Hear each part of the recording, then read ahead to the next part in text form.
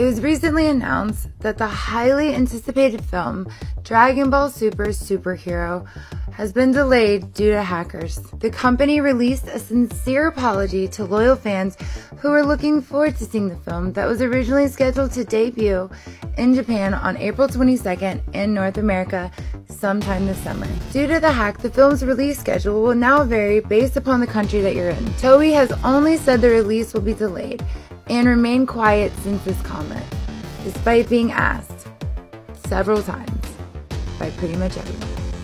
Okay, okay, okay, I'm being dramatic, but come on, we're all wondering. Toei Animation does have some good news for us.